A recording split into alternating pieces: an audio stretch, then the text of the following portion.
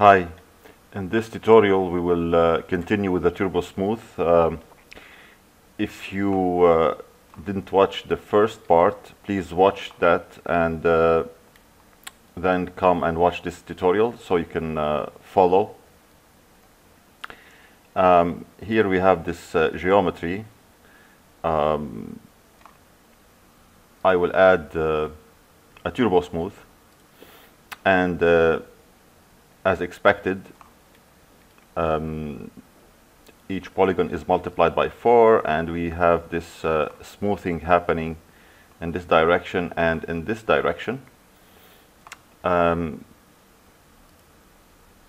so uh, let's say um, I want the smoothing to happen only in this direction. That means uh, I want these polygons here to smooth out uh, between each other. Uh, these also and these and these, but I don't want the smoothing to happen in this direction.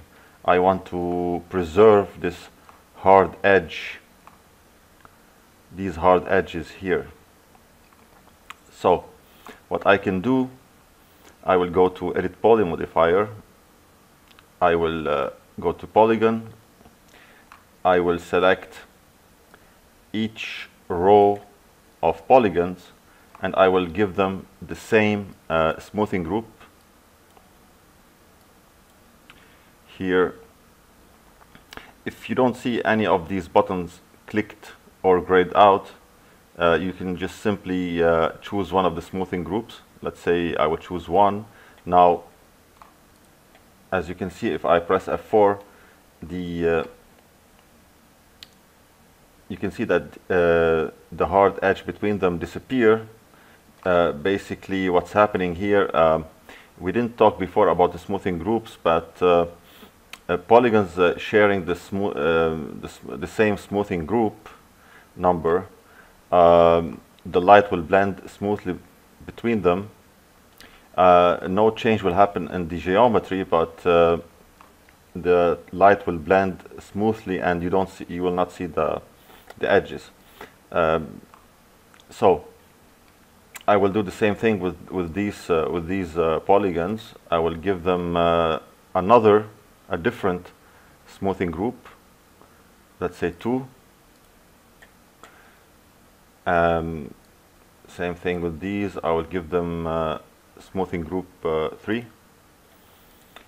And for these, you can see here that we have uh, this button is grayed out. That means this, for example, th um, this polygon already have already has uh, a smoothing group of one. Also, this one, this one, no smoothing group. So what you can do, you, you, you, can just click this button twice and then you can choose, um, I will choose um, smoothing group 4. So um, now I will activate smoothing group. Uh, it's still working like before, but now if I click this option here, smoothing groups, you can see here separate by smoothing groups.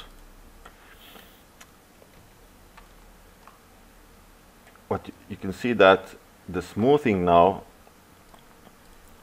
is happening in this direction. Uh, it's happening only between uh, polygons sharing the same smoothing group.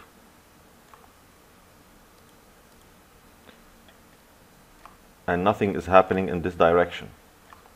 I will increase the iterations.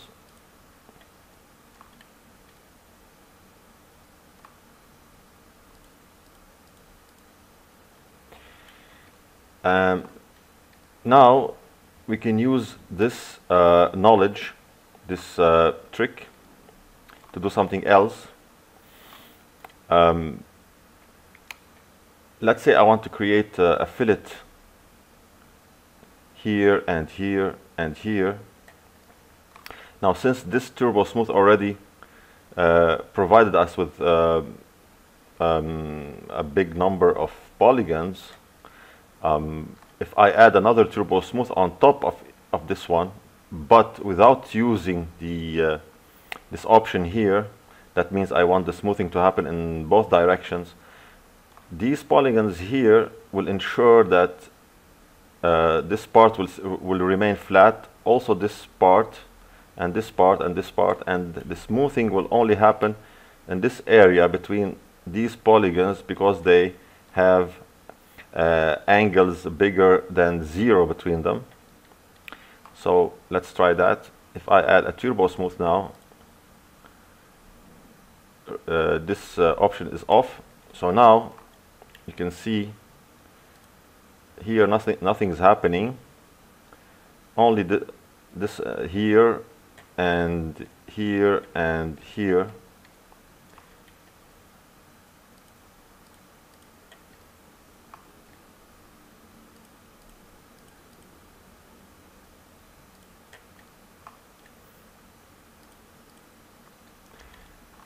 So uh, this is a, a nice uh, uh, trick you can use.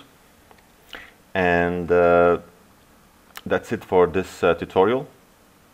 If you like it, please press the like button and subscribe to the channel. And see you on the next video. Thank you.